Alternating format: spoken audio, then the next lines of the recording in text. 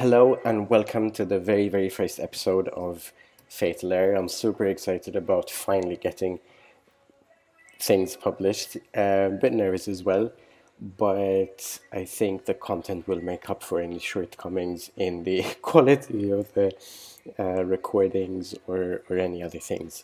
And in fact, we're starting the series with Rand Fishkin, former CEO and well, still founder, but former CEO of Moz and now founder of a new startup called Spark Toro. The reason I was excited to speak to Rand is, uh, apart from the fact that he was um, always somebody I kind of looked up to from a distance, uh, I never I never met Rand, never interacted with him at all, but I, I fired him a, a, a message on LinkedIn and without any back and forth, without any uh, questions really, he immediately was like, "Yeah, sure, Richard, let's have a conversation. I'd love to take part in this." And I found that to be very um, both motivating for myself, but also it made me feel like, yes, this is the right thing uh, to be doing at this time. So we'll get into the conversation very soon the things that stood out to me from uh, my chat with uh, with Rand was really just how intertwined everything is with each other. So it's very hard to look at the climate problem without looking also at issues involved in how businesses are created and run, how capitalism works, and many, many other things that we currently deal with in the societies we, we currently live and operate in. So that's it for now. I'll see you at the end of the episode for some concluding notes. And without further ado, Rand Fishkin. Hey, first of all, thank you so much for just getting back to me, booking a time, and all of that stuff. We've never met, so I kind of um, expected that we might need to do a bit more um, sort of convincing or or bothering people. But I'm getting a good response. No, no, I'm um, thrilled to hear it.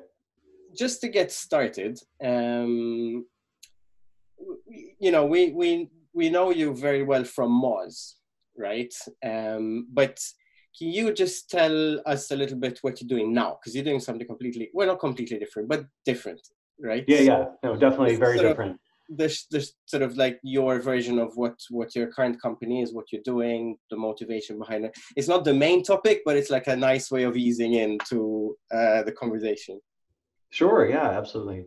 Uh, so I started Spark Toro about 18 months ago, uh, just after leaving Moz, which I which I founded many years before, and SparkToro is uh, different on a number of vectors. So it's not in the SEO space. Uh, it's trying to build software around audience intelligence. So helping marketers and PR folks and product managers and entrepreneurs uh, understand the audiences that they want to reach and how to reach them and um, a lot of uh, deep data about what websites they visit and social accounts they follow, what topics they're interested in, what events and conferences they go to, uh, what podcasts they listen to, like this one.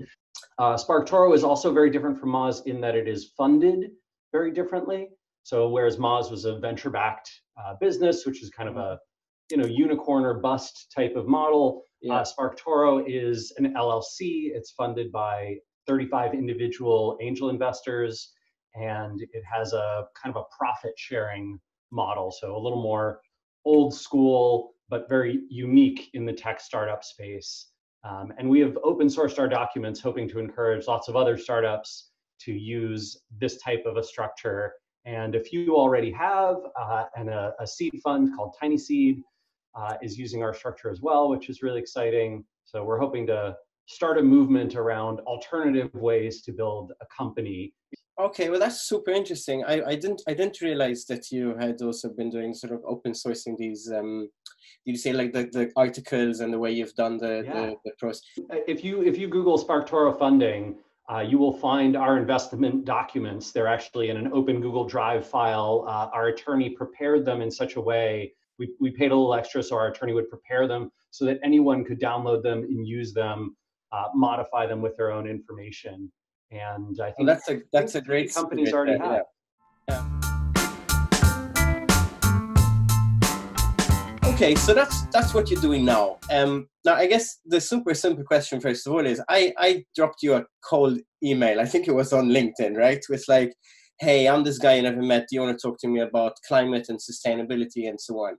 Um, what, what, what, why do you, why do you want to talk about that? um, I mean, I think that along with income inequality, it's basically the biggest issue facing the planet right now. And I, uh, I will admit to not being very savvy about uh, climate change. Maybe I'm, you know, in the top 50% of people who have knowledge about it, but certainly not the top five or 10. And uh, while I have passion there, it's not it's not an area I've engaged in much. And so, yeah, I was curious to find out, you know, why why does Richard want to talk to me about this, and and what hmm. could I possibly have to contribute here? Um, and I yeah, I'd be interested to to learn more and have that chat, and certainly hope that by participating, more folks who might be uh, interested in you know in, in my work or in my uh, background might pay attention as well, and you know open their ears and eyes to what's going on, and um, yeah, hopefully together we can we can change some opinions. So yeah that's that's i mean that's why richard wants to talk to you um, mainly.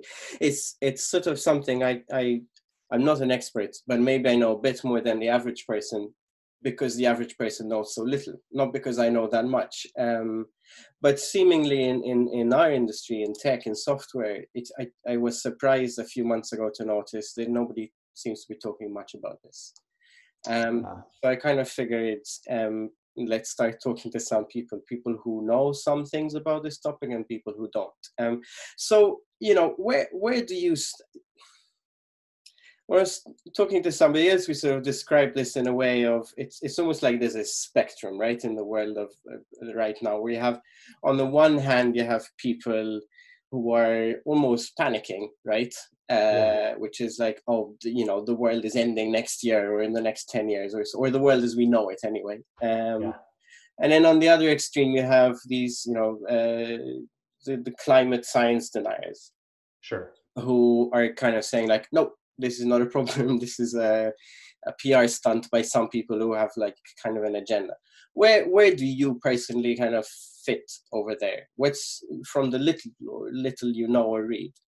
Uh, sure. So I would say I'm much more in the uh, we should be generally speaking panicking uh, more so than anything else. I, panic is maybe the wrong word because I think panic implies a lack of uh, thoughtful strategic action, right? It's sort of a everybody you know run and lose your minds and and not um, treat things uh, in a long-term strategic way. And and i think that's not what's going to be helpful. So i, I agree generally with the with the folks who say gosh we are uh, substantively ahead of all the climate change project predictions or right on target and that suggests maybe not in the next year or 10 years that uh, things will be you know, um, whatever apocalyptic, but certainly in the next 50 to 100, and uh, and and possibly in the next 25. Mm-hmm. And I mm-hmm. think that it is um, there's a you know there's a part of me that gets very frustrated with the concept of uh, let's see personal responsibility in a very small scale way uh, and not political responsibility in a personal way. And I'll try and explain what I mean yeah, there. Uh, could you unpack that a little bit? Because yeah. I, I, might so have understood what you meant, but I'm not sure. sure, sure. So for, for example, right, I think there's a lot of folks who say, if you um, own a vehicle uh, you know, a non-electric vehicle or even an electric vehicle, right? Because a lot of electricity comes from sources that are non-renewable, blah blah blah, sure. right? That um, that you personally are evil and bad and contributing to climate change, and um, and I think that that misses the bigger picture. Uh, bigger picture being, you know, a small number of corporations and a smaller number of uh, government regulations or lack thereof are responsible for the overwhelming majority of the climate change problem right? And I think that uh, what I worry about is people saying like, okay, I'm going to focus inward, and I personally will drive less and fly less and compost more, and that will make such little difference. It is almost meaningless. Um, not completely meaningless, and I I have a lot of um, respect for people who want to put that on their own shoulders, who are willing to make those sacrifices. I think that is awesome and wonderful. And I think that if you ignore the reality, which is that political systemic change is the only way to make a big difference here, uh, you are burying your head in the sand just as much, if not more, than someone who you know drives a giant SUV and flies a private jet. Agree with you that there needs to be sort of this this big um, this big ch- change, and yet in in tech there are some big companies, right? So we have some big organizations who are big enough to kind of um, uh, make a significant difference one way or the other. Um, obviously, there are sort of like the, yeah. the, the big giants like Google and Amazon and and Apple and so on, which obviously the kind of companies uh, they're almost countries. Unfortunately, their uh, their incentives are all wrong, right? So the, the only the only way that you will get Google, Apple, Facebook, Microsoft, et cetera, to to change uh, the way that they operate is to change their incentive structures, basically by making certain practices legal or illegal.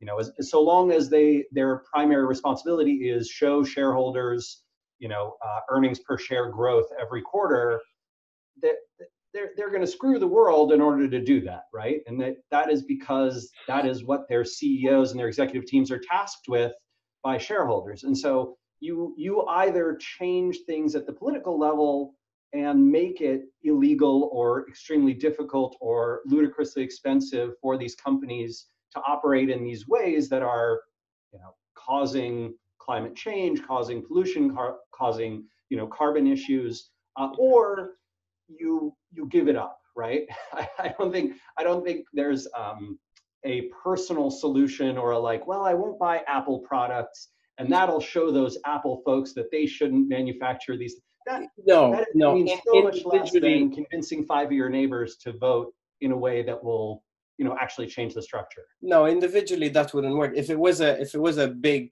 um kind of protest level sure. thing. That might that might work but even so i'm not sure what the best way of doing something like that it's not what i have in mind to be honest. Um, yeah i mean it's but, exciting but, to it's exciting to imagine but it feels like it is history breaking right? That, we, that historically we've not generally been able to organize individual consumers with that level of um, thoughtfulness around you know, uh, changing their habits. Whereas shifting an election a couple of points can can literally change the world, right? Yes. And so I, I think that um, so if we're going to focus energy somewhere, that that's where to put it. So to bring it back down to because even though even though perhaps the level of impact of a company like Moz or SparkToro or, or sort of similar sized companies um, is to a large degree incomparable, right? To, yeah, negligible. Like Amazon, for example. Um, that doesn't mean that we sh- we should um, uh, act in the worst possible way, right? So, oh, sure, yeah, absolutely. So it'll be like, oh, you know, what I'm doing is just a drop in the bucket, so I can behave in the sort of worst way possible because it doesn't yep. matter as much. So, is is this um, is are these topics things that have come up for you in the companies that you founded and run, and how do those conversations get handled internally? Yeah, uh, let's see. So at Moz, I think we um, maybe it was four or five years ago, ju- just after I stepped down as CEO, uh, we had an initiative where we looked into uh, carbon credits and uh, becoming a more green company, a more green office space, um, implementing a work from home a week, a day a week policy, um, trying to uh, set up more public transportation options for uh, employees. So, you know, these small things that are on the margin, but I think generally make people feel a little bit better and, and have a tiny impact um, on their own and maybe collectively you know it's one of those things right like you talked about with apple. Well if every company did that it would make a bit of a difference right? And yeah. so we, we tried to do some of those things. Um, i don't i would not say that moz was a you know nine out of ten on this stuff but maybe a seven maybe sometimes an eight right? Okay. Uh, much better how, how than did, any not as good could be. how did these things come up and Moz? was it you know you had some like one person who was really sort of keen and kept bugging you or did it come from you or the leadership team? Huh let's see i think usually i think it usually came it came from several sources. Sometimes it was myself or people on the executive team. Um, and Moz's current ceo sarah bird is, is generally very left leaning and very um, you know, obviously a climate science embracer and uh, those kinds of things. She, um, and she, you know, supported these types of initiatives.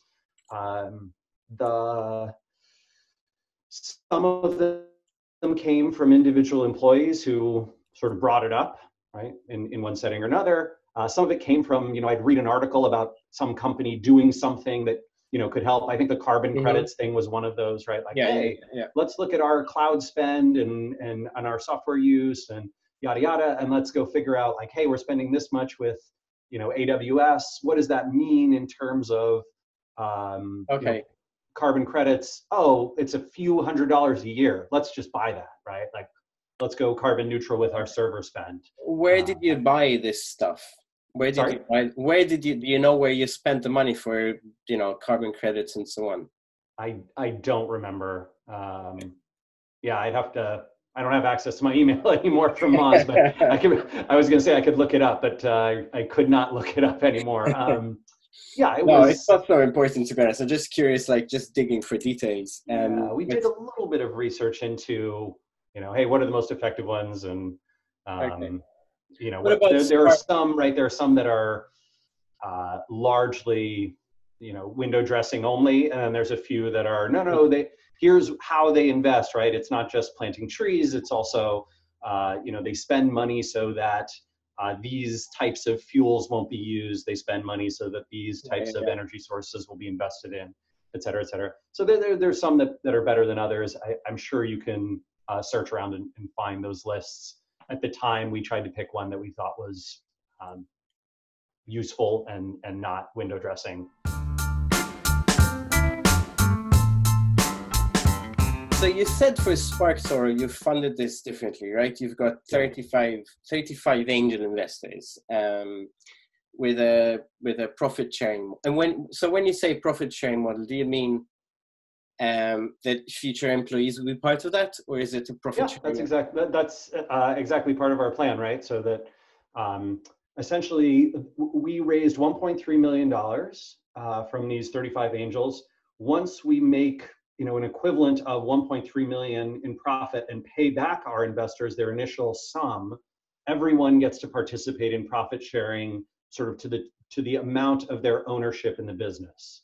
So, you know, if you put in $50,000, maybe you own, you know, whatever, 1% of SparkToro. And so, you know, if we make a million dollars, you're going to get $10,000 in your uh, share this year, right? That kind of thing.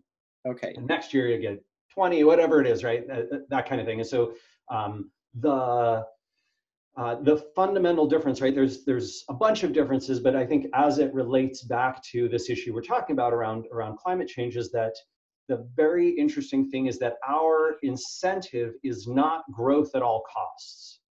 Okay, that's exactly what I was going to ask you about. What is the incentive structure that you're that you're trying to create here? Because yeah, so it comes back to about, incentives a lot. Yeah, so if you think about the classic venture capital investment model, right, which which most folks are familiar with because it's become, you know, so discussed and sort of worshipped in the tech press. Uh, venture capital you know fund puts money into 100 companies with the hope that or you know I, they hope all 100 will be successful that never happens right generally speaking they know that 95 of those companies will go bust and not really return them much of anything uh, three or four will make them some decent amount of money and then one or two will return the entire fund right? Yeah. That, that's the, the unicorn, right? And so yeah. basically every venture capitalist goal is identify companies that might be future unicorns. not um, look for and help uh, businesses that have a high a high chance of surviving and being profitable long term to sustainably grow in a fashion that keeps them alive right so very very very different so th- that, that does two things right that incentive model does two things one it encourages every company to spend fast in order to create fast growth right because growth rate and market dominance and, and building monopolies is essentially what every investment is trying to do. Every investment, if you and I run an investment fund, right? Every mm-hmm. company we invest in, we're trying to make them the next Google, Facebook, Apple. Yeah, Amazon, yeah, yeah, exactly. WeWork. Yeah. Well, maybe not WeWork. Um, but, uh, yeah, but I know Airbnb, yeah. right? That kind of yeah. thing. Uh, those giant companies, right? Companies that have extraordinary growth rates tend to break a lot of things along the way. Um, and, and the climate is often one of those things. And uh, they tend to be, they tend to have the same goals and sort of responsibilities, fiduciary responsibilities that public companies have, uh, broadly speaking, which is essentially growth at all costs, market dominance at all costs. And that is very different from sustainable, profitable, independent, um, live up to values, those kinds of things, right? So, uh, my, a friend of mine uh, named Mara Zepeda down in Portland, and uh, along with a, several other women in the entrepreneurship space, created this moniker of, of zebras versus unicorns. And I, I, would encourage any of your listeners or, or, viewers to, to check it out. They, they did a really cool series of articles around this. And okay. Casey and I actually adopted this uh, philosophy for SparkToro. So if you go to the About Us page on SparkToro, we have this like zebras, we're a zebra, not a unicorn. Okay. Um, okay. And, and the other, sure. the, the other problem that it contributes to is income inequality right? Because essentially, if you invest in 100 companies and only one or two of them are going to be successful, you're essentially trying to concentrate wealth in the hands of a very small number of founders, right? Founders and investors, and everybody else does not do well. Right? That's the and that is the known motivation going in. That's the model, right? The model is to create income inequality um, and and try and bet on a very small handful of winners. And investors would say, "Hey, that's just how the economy works, right? Our economy rewards winner take all." And I think frankly, I, I think that's bullshit. I think that's a, a crap excuse, right? Yeah, I think yeah. that we, uh, and especially the owners of capital, right, the investors themselves, they get to determine how investments function. And if they choose, if they want to, they can decide to do what TinySeed Fund and SparkToro and these other companies have done, which is essentially a model that encourages sustainable, profitable uh, um, pluralities of companies to compete in spaces as opposed to one monopoly takes all of it.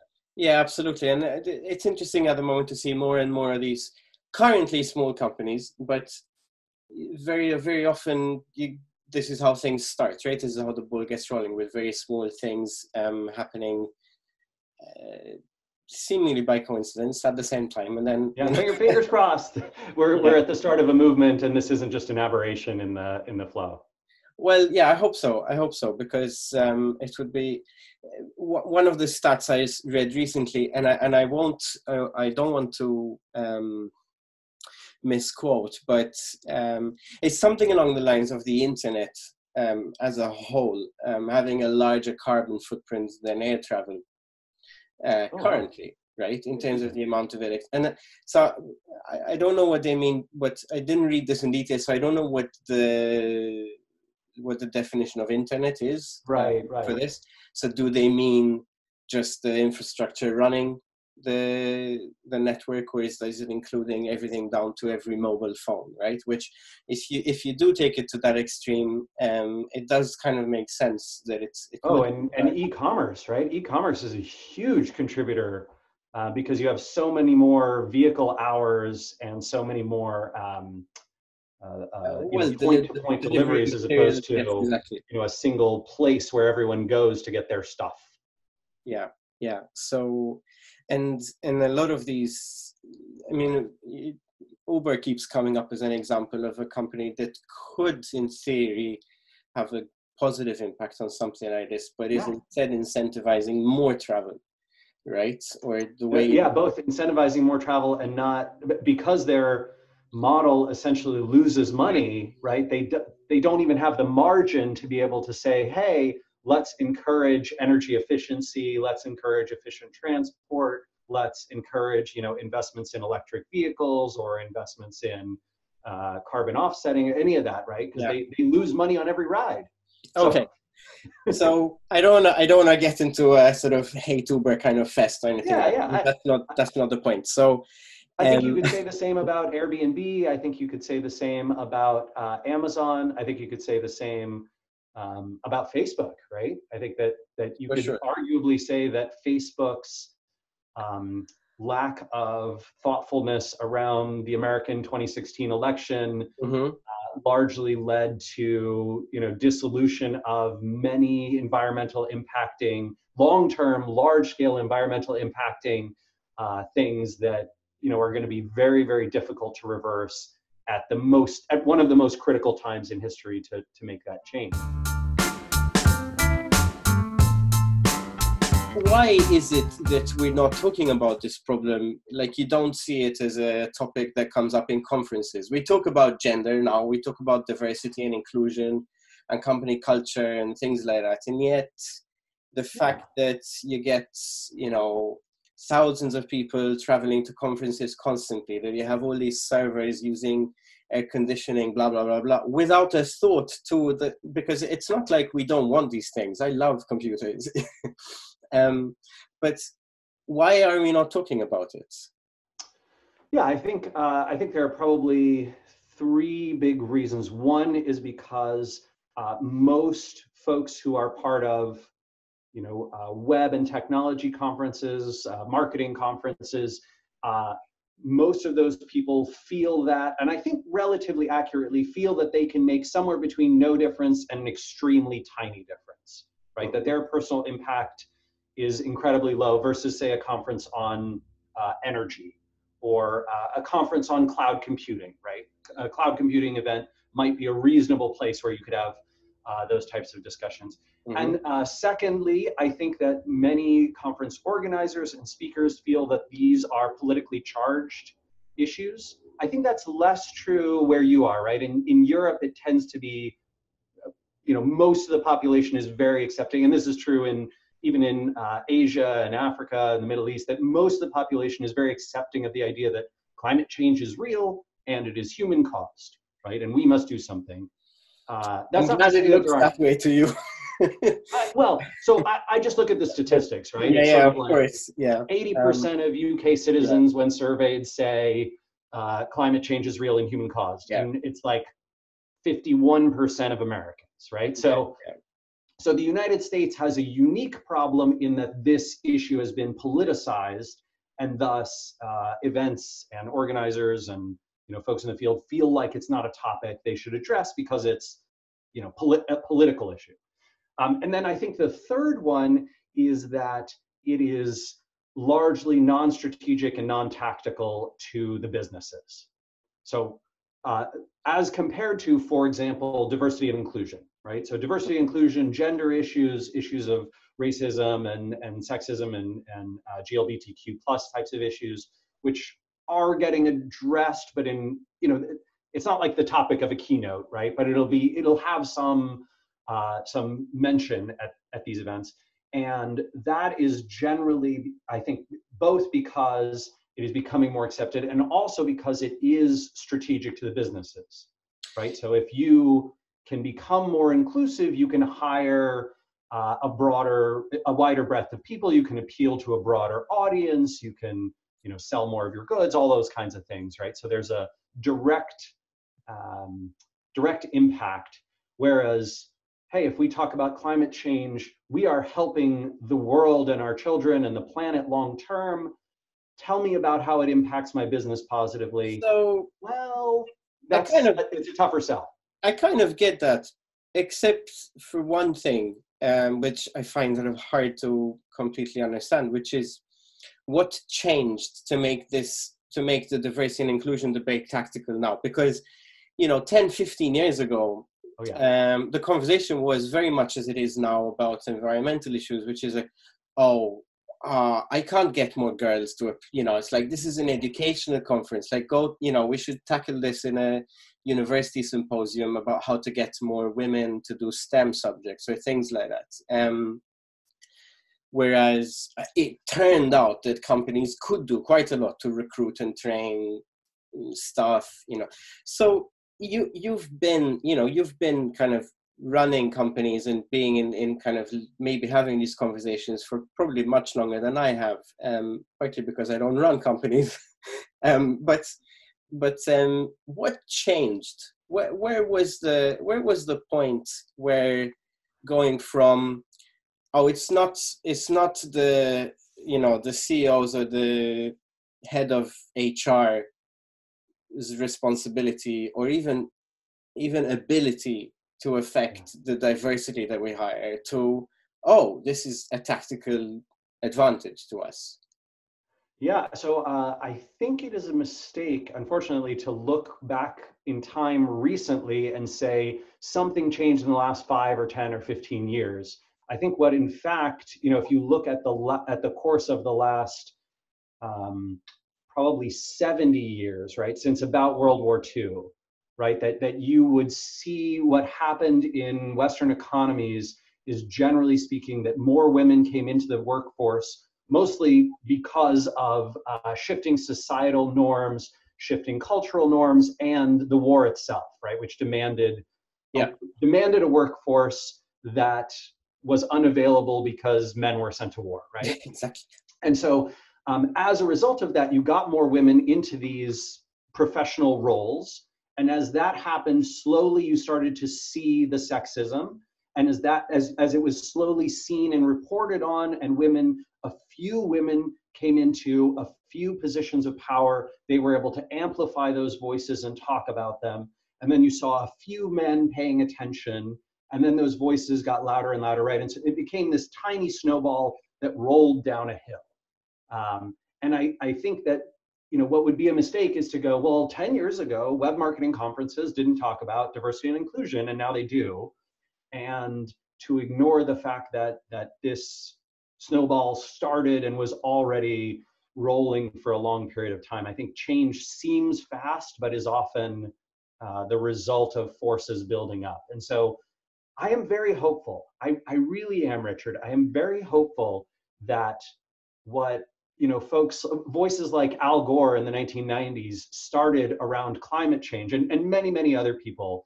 Um, he's just the, one of the ones that comes to mind, right? But many, many other people in the in the even in the 70s, 80s, 90s, right? People talking about this stuff, uh, bringing it up. That that ball is also starting to roll down a hill. And granted, the times are getting more perilous, but I don't I don't think uh, I don't think that 20 years from now we will still be in the same place. I think we're um, we're on our way to having those conversations. I, the only question is, is it too late? Right? Have we already have we sort of doomed ourselves by virtue of you know the political leadership we've put into place around the world and their um, inability to address this issue fast enough, and now you know, uh, barring some sort of miracle scientific breakthrough in carbon sequestration, uh, we're all screwed.